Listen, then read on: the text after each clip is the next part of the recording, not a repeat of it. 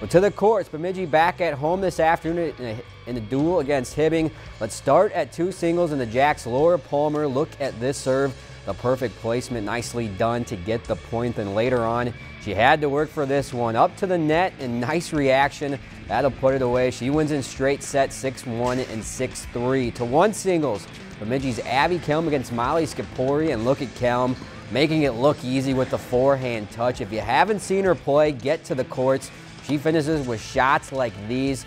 The powerful forehand winner down the line, 6-0, 6-0 in straight sets. That has her stay perfect. But those are the only two that win today. Bemidji would drop their first meet 5-2 to Hibbing.